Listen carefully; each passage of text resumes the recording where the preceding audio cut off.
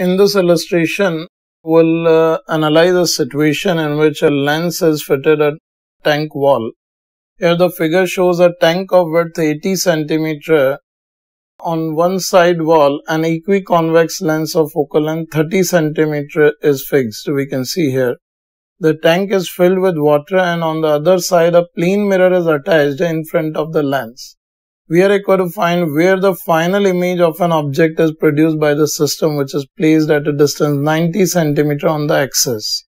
Here in solution we can see we need to refract the light rays first flow from object uh, in air to glass then glass to water which is again reflected from mirror then again it is from water to glass and glass to air. So here uh, we first consider for lens focal length we can write as r by twice of mu minus 1 because uh, it is an equiconvex lens. This implies the value of radius of curvature we are getting as 2f multiplied by mu minus 1 which is 2 into 30 multiplied by 0.5 that is equals to 30 centimeter. So both the surfaces of this lens are having uh, a radius of curvature 30 centimeter.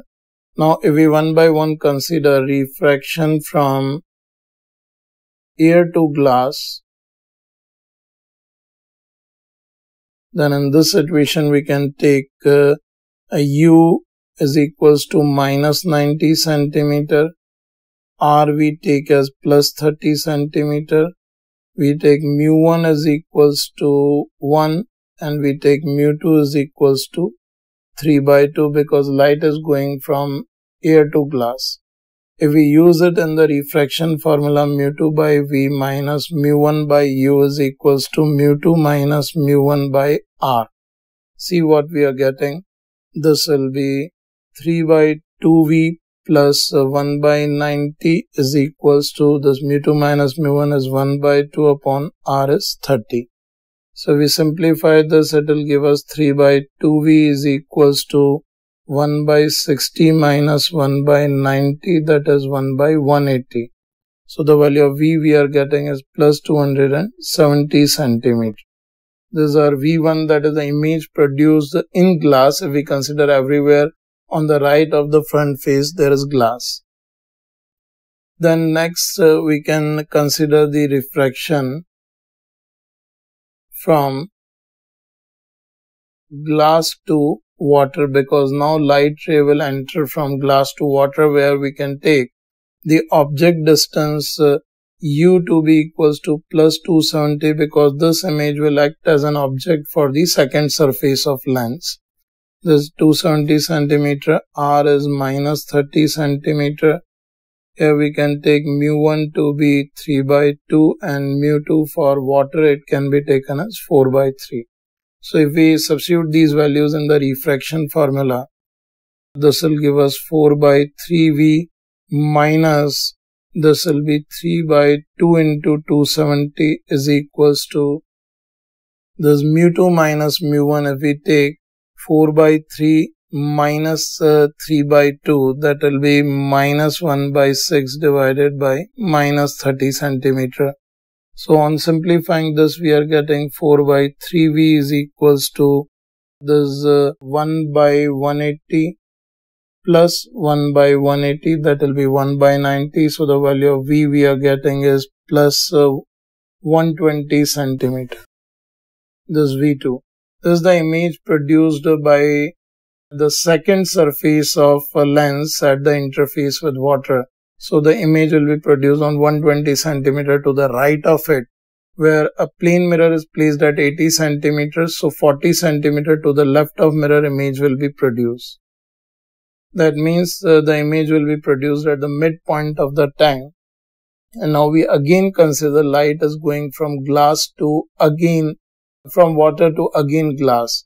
So if we consider for refraction from uh, water to glass because now light is again entering into the lens from the right side. Here we can take the value of u to be equals to plus 40 centimeter. The radius of curvature we can take as minus 30 centimeter. here mu1 is equals to from air to glass it is getting so mu1 is 4 by 3 and the value of mu2 we are getting is 3 by 2 so here if we again substitute the values in this refraction formula this can be written as 3 by 2v minus uh, 4 by 3 into 40 is equals to this mu2 minus mu1 that can be written as 1 by 6 upon minus 30.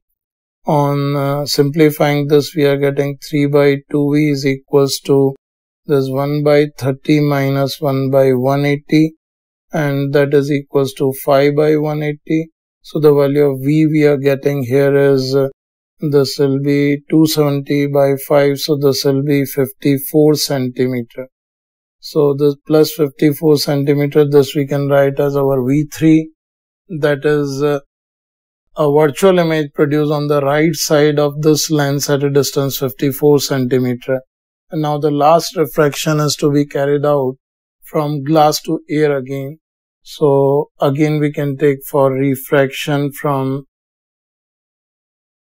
glass to air. In this situation, we take uh, u is equals to plus 54 centimeter. We take r is equals to in this situation plus 30 centimeter. Here the value of mu1 we take as 3 by 2 and we take mu2 is equals to 1 because light is finally coming into air after which no further refraction will take place.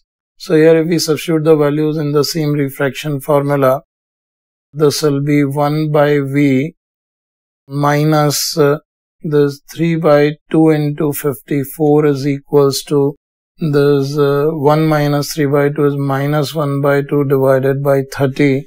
So on simplifying we are getting 1 by V is equals to this 1 by 36 minus 1 by 60 and further on simplifying this we are getting 1 by 36 minus 1 by 60 will be 1 by 90 this implies the final image is produced at uh, 90 centimeter from the lens. That will be the answer for this problem and the result is coming out as plus 90 that means the final image produces virtual and at the position behind of this lens as final light rays will be diverging